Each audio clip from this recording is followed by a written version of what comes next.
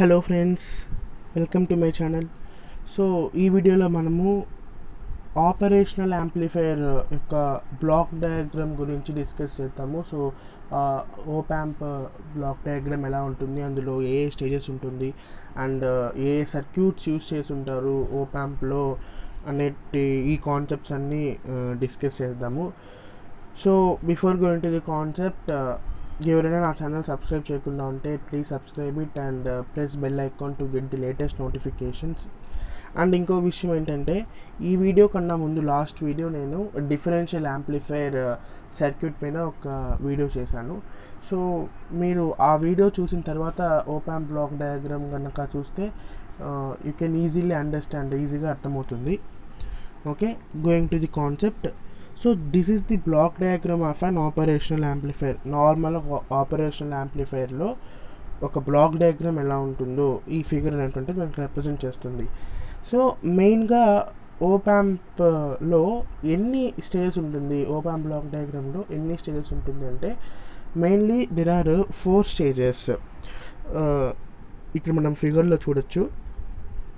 Input stage intermediate stage and level shifting stage and output stage there are four main stages present in the block diagram of and op amp so ఒక్కొక్క stage గురించి మనము నీట్గా discuss చేసుకుందాము. So first input stage. So input స్టేజ్కి మనము inputs అనేటువంటిది ఇస్తాము. ఓ ప్యాంప్కి టూ ఇన్పుట్స్ ఉంటుంది. Some non inverting input and inverting input అని టూ ఇన్పుట్స్ ఉంటుంది. సో టూ ఇన్పుట్స్ని మనము ఇన్పుట్ స్టేజ్కి ఇస్తాము. సో ఇన్పుట్ స్టేజ్లో ఏ సర్క్యూట్ ఉంటుంది అని అంటే డిఫరెన్షియల్ యాంప్లిఫైర్ సర్క్యూట్ ఉంటుంది. లాస్ట్ వీడియోలో మనం డిస్కస్ చేసిన సర్క్యూట్ ఇక్కడ ఉంటుంది. Differential amplifier circuit.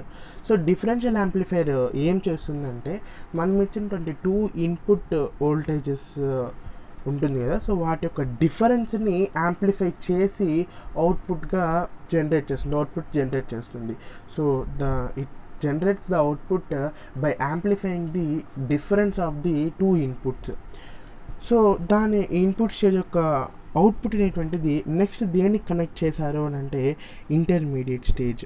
So intermediate stage అనేటువంటిది second stage of the op amp so intermediate స్టేజ్లో ఏముంటుందంటే ఇక్కడ కూడా డిఫరెన్షియల్ యాంప్లిఫైరే ఉంటుంది. Dual input unbalanced output uh, differential amplifier ఉంటుంది.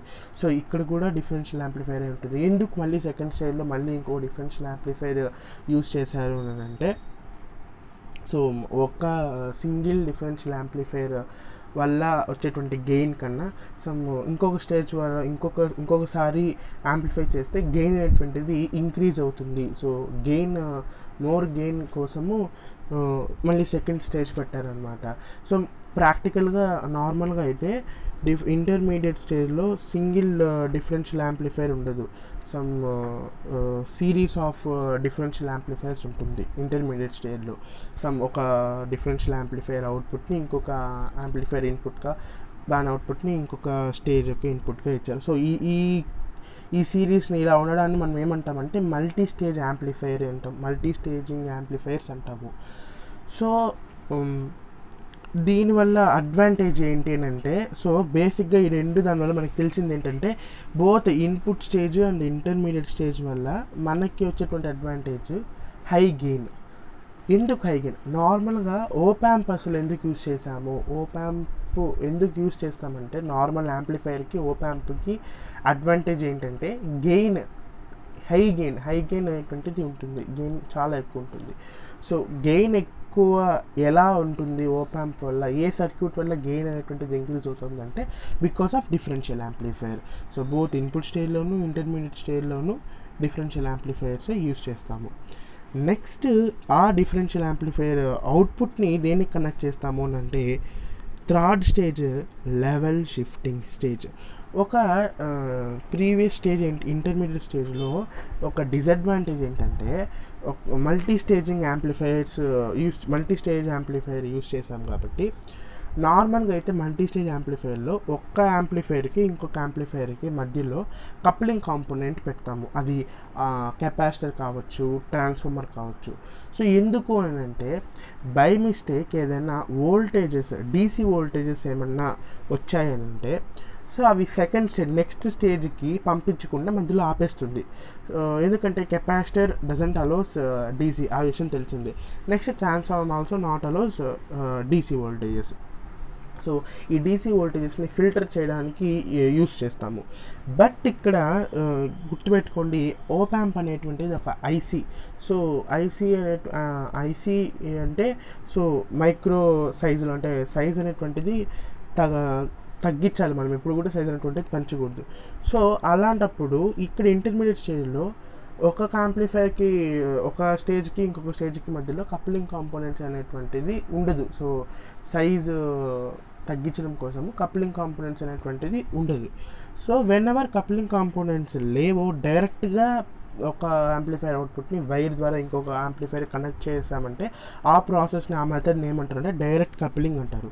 సో డైరెక్ట్ కప్లింగ్ యూస్ చేయడం వల్ల ఏమవుతుందంటే సమ్ డీసీ వోల్టేజ్ ఏమన్నా వచ్చాయంటే అవి కూడా యాంప్లిఫై అయిపోతుంది. సో ఈ డీసీ వోల్టేజెస్ ఏమన్నా వచ్చుంటే అవి వాటిని ఫిల్టర్ చేయడం కోసము లెవెల్ షిఫ్టింగ్ స్టేజ్ అనేటువంటిది యూజ్ అవుతుంది. సో ఈ లెవెల్ షిఫ్టింగ్ స్టేజ్లో ఏముంటుంది అని అంటే ఎమిటర్ ఫాలోవర్ ఎమిటర్ ఫాలోవర్ ఏంటి అంటే నార్మల్గా ఒక ట్రాన్సిస్టర్కి సిఈ కాన్ఫిగరేషన్లో ట్రాన్సిస్టర్కి ఇన్పుట్ అనేటువంటిది బేస్ దగ్గర ఇస్తాము కలెక్టర్ దగ్గర అవుట్పుట్ తీసుకుంటాము. అలా కాకుండా ఇన్పుట్ బేస్ దగ్గర ఇచ్చి ఎమిటర్ దగ్గర తీసుకుంటే అవుట్పుట్ సో ఎమిటర్ దగ్గర అవుట్పుట్ తీసుకుంటే ఆ సర్క్యూట్ని ఏమంటారంటే ఎమిటర్ ఫాలోవర్ అంటారు. ఇంకొక విషయం ఏంటంటే నార్మల్గా అయితే ట్రాన్సిస్టర్ బేస్ దగ్గర ఇన్పుట్ ఇస్తే అవుట్పుట్ కలెక్టర్ దగ్గర తీసుకున్నామంటే ఆ అవుట్పుట్ సిగ్నల్ అనేటువంటిది ఇన్పుట్ సిగ్నల్తో ఫేస్ షిఫ్ట్ ఉంటుందన్నమాట. So one eighty degrees phase difference అనేటువంటిది ఉంటుంది. బట్ మనం ఎమిటర్ దగ్గర అవుట్పుట్ తీసుకుంటే there will be no phase difference so మనము ఇంటర్మీడియట్ స్టేజ్ నుంచి ఎలాగైతే సిగ్నల్ వచ్చిందో సో అలాగే వెళ్తుంది. సో ఫేస్ అయితే ఎటువంటి చేంజ్ ఉండదు. నెక్స్ట్ అడ్వాంటేజ్ వచ్చేసి ఆల్రెడీ డిస్కస్ చేసాము డీసీ వోల్టేజెస్ని ఫిల్టర్ చేస్తుంది. Next other important advantage emitter follower use చేయడం ఎందుకు అని అంటే లెవెల్ షిఫ్టింగ్ స్టేజ్లో నార్మల్గా ఏ సర్క్యూట్ అయినా మనము నెక్స్ట్ లాస్ట్ ఏంటి నెక్స్ట్ అవుట్పుట్ స్టేజ్ కదా నెక్స్ట్ లోడ్ అనేటువంటిది కనెక్ట్ చేస్తాము. ఆ లోడ్ కనెక్ట్ చేసేటప్పుడు ప్రతి సర్క్యూట్లో ఇన్పుట్ స్టేజ్ ఉంటుంది అవుట్పుట్ స్టేజ్ ఉంటుంది. సమ్ అది ఎలా ఉండాలంటే ఇన్పుట్ స్టేజ్ దగ్గర రెసిస్టెన్స్ అనేటువంటిది హైగా ఉండాలి అండ్ అవుట్పుట్ స్టేజ్ దగ్గర రెసిస్టెన్స్ అనేటువంటిది చాలా లోగా ఉండాలి. సో అప్పుడే ప్రాపర్ పవర్ ట్రాన్స్మిషన్ అనేటువంటిది జరుగుతుంది లోడ్కి. సో అలా ఉండేటప్పుడు అప్పుడు both input stage intermediate stage అనేటువంటిది రెండు ఒకటే డిఫరెన్షియల్ యాంప్లిఫైర్ అందుకే రెండింటిని హైలైట్ కూడా చేస్తున్నారు రెండింటిని కలుపున్నారు సో ఈ రెండు ఒక స్టేజ్ లాగానే చెప్పుకోవచ్చు మనం డిఫరెన్షియల్ యాంప్లిఫైర్ స్టేజ్ అని చెప్పుకోవచ్చు. సో ది ఈ స్టేజ్కి ఏమో ఇన్పుట్ స్టేజ్కి హై రెసిస్టెన్స్ ఉంటుంది ఇక్కడ కూడా. నార్మల్గా అయితే ఐడియల్గా చెప్పాలంటే ఇన్పుట్ స్టేజ్కి ఇన్ఫినిటీ రెసిస్టెన్స్ ఉండాలి అవుట్పుట్ స్టేజ్కి జీరో రెసిస్టెన్స్ ఉండాలి. బట్ ఐడియల్గా ఇన్ఫినిటీ పాసిబుల్ కాదు కాబట్టి కాబట్టి సమ్ మెగా ఓమ్స్ ఉంటుందన్నమాట ప్రాక్టికల్గా సో ఇన్పుట్ స్టేజ్కి హై రెసిస్టెన్స్ ఉంది. నెక్స్ట్ అవుట్పుట్ స్టేజ్కి ఏముందంటే వెంటనే లో రెసిస్టెన్స్ ఉంటుంది. సో ఈ హై రెసిస్టెన్స్ స్టేజ్ నుంచి low resistance stage connect signal signal ఈ హై రెసిస్టెన్స్ ఉండేటువంటి స్టేజ్ నుంచి లో రెసిస్టెన్స్ స్టేజ్కి అంత ప్రాపర్గా సిగ్నల్ అనేటువంటిది వెళ్ళదు. ట్రాన్స్మిషన్ అనేటువంటిది జరగదు. సో అలాంటి కండిషన్లో ఏం చేస్తామంటే బోత్ స్టేజెస్ని ఈ ఇన్పుట్ స్టేజ్ని అలాగే అవుట్పుట్ స్టేజ్ని డ్రైవ్ చేయడం కోసము మధ్యలో ఇంకొక స్టేజ్ అనేటువంటిది పెట్టుకుంటాము. సో అలా కూడా ఈ లెవెల్ షిఫ్టింగ్ స్టేజ్ యూజ్ అవుతుంది. So both to drive the output stage and input from the high resistance of input stage నుంచి డ్రైవ్ చేయడానికి కూడా లెవెల్ షిఫ్టింగ్ స్టేజ్ అనేటువంటిది యూజ్ అవుతుంది. సో ఈ the output of this level shifting stage మనం దేనికి ఇస్తాము? నెక్స్ట్ అవుట్పుట్ స్టేజ్కి ఇస్తాము. So what is the output stage so output స్టేజ్కి ఆల్రెడీ చెప్పుకున్నాం ఇంతకుముందే. అవుట్పుట్ స్టేజ్ ఇక్కడ అవుట్పుట్ స్టేజ్లో ఏముంటుందంటే ఏ సర్క్యూట్ ఉంటుందంటే కాంప్లిమెంటరీ పుష్ యాంప్లిఫైర్స్ యూస్ చేస్తాం. అందులో class AB and class A class B ఇలా యాంప్లిఫైర్స్ ఉంటుంది. సో అందులో క్లాస్ ఏబి యాంప్లిఫైర్ అనేటువంటిది మ్యాక్సిమం యూస్ చేస్తారు. లేదు అనుకుంటే క్లాస్ బి యాంప్లిఫైర్ కూడా కొన్ని కంపెనీస్ మ్యానుఫ్యాక్చర్ చేసేటప్పుడు క్లాస్ బి యాంప్లిఫైయర్ కూడా యూస్ చేస్తారు. సో ఏంటి అవుట్పుట్ స్టేజ్ వల్ల అడ్వాంటేజ్ అంటే లో రెసిస్టెన్స్. లో రెసిస్టెన్స్తో పాటు ఇది ఇంకో పని ఏం చేస్తుంది అంటే పవర్ యాంప్లిఫికేషన్. సో మెయిన్గా ఈ కాంప్లిమెంటరీ పుష్పుల్ యాంప్లిఫైర్స్ యొక్క మెయిన్ వర్క్ ఏంటంటే to increase the power power amplification అనేటువంటిది జరుగుతుంది. నెక్స్ట్ వచ్చేసి uh, అవుట్పుట్ స్టేజ్ uh, దగ్గర స్వింగ్ క్యాపబిలిటీ అనేటువంటిది ఇంక్రీజ్ అవుతుంది. సో స్వింగ్ క్యాపబిలిటీ అంటే ఏంటంటే నార్మల్ ఒక సైన్ వేవ్ అనేటువంటిది ఇలా వెళ్తుంది సో ఈ స్వింగ్స్ని స్వింగ్ అంటారు వీటిని స్వింగ్స్ అంటారు. సో ఈ స్వింగ్ క్యాపబిలిటీ పెరుగుతుంది. అంటే ఎలా పెరుగుతుంది ఎలా అంటున్నారు అంటే నార్మల్గా ఇప్పుడు డిఫరెన్షియల్ యాంప్లిఫైయర్ దగ్గర మనం చెప్పుకున్నాము సమ్ సిరీస్ ఆఫ్ యాంప్లిఫైర్స్ ఉంటుందని. అలా అంటే అవుట్పుట్ అనేటువంటిది సమ్ కిలో వోల్ట్స్లో అట్లా వెళ్ళిపోతుందా అంటే నో అన్ అన్ని వోల్ట్స్ అనేటువంటిది జనరేట్ కాదు. ఎంతవరకు లిమిట్ అనేది ఉంటుంది ఉంటుంది కదా. సో నువ్వు ఎన్ని యాంప్లిఫైయర్స్ యూస్ చేసినా సమ్ ఇక్కడ మనం two power supplies DC power supplies ఇచ్చారు. ఇక్కడ మీరు చూసినట్టయితే plus VCC and minus VE జనరల్గా ఒక op యాంప్కి plus or minus fifteen volts ఇస్తారు పవర్ సప్లై అంటే ప్లస్ విసిసి దగ్గర ప్లస్ ఫిఫ్టీన్ వోల్ట్స్ ఇస్తారు మైనస్ విఈ దగ్గర మైనస్ ఫిఫ్టీన్ వోల్ట్స్ ఇస్తారు. నార్మల్గా సో ఈ ఫిఫ్టీన్ వోల్ట్స్ అనేటువంటిది డీసీ వోల్టేజ్ ఆపరేషన్ చేయడానికి పవర్ సప్లై ఇది. సో అవుట్పుట్ ఏంటంటే ఫిఫ్టీన్ వోల్ట్స్ కన్నా ఇంక్రీజ్ అవ్వదు. సో ఎంత ఉన్నా లిమిట్ ఫిఫ్టీన్ వోల్ట్స్ లోపల ఎంత యాంప్లిఫికేషన్ జరిగినా ఫిఫ్టీన్ వోల్ట్సే వస్తుంది అనమాట అంతకు మించి రాదు అవుట్పుట్. ఒకవేళ ట్వెల్వ్ వోల్ట్స్ సప్లై ఇచ్చామంటే ట్వెల్వ్ వోల్ట్స్ ట్వెల్వ్ వోల్ట్స్కి మించి ఇంక్రీజ్ అవ్వదు అవుట్పుట్ అనేటువంటిది signal. So maximum fifteen volts ఇస్తారు కాబట్టి అవుట్పుట్ అనేటువంటి ఫిఫ్టీన్ వోల్ట్స్ కన్నా ఇంక్రీజ్ అవ్వదు అని చెప్పుకోవచ్చు. అండ్ అలాగే సో అలాంటప్పుడు ఈ స్వింగ్స్ అనేటువంటిది ఈ సైన్ వేవ్ ఉంటుంది కదా ఈ స్వింగ్స్ అనేటువంటిది రీచ్ అవ్వడానికి సమ్ ప్లస్ విసిసికి మైనస్ వికి రీచ్ అవ్వడానికి ట్రై చేస్తూ ఉంటుంది సైన్ వేవ్. సో వాటిని స్వింగ్ క్యాపబిలిటీ అంటారు. సో ఈ స్వింగ్ క్యాపబిలిటీ కూడా ఎక్కువ ఉంటుంది అవుట్పుట్ స్టేజ్ దగ్గర.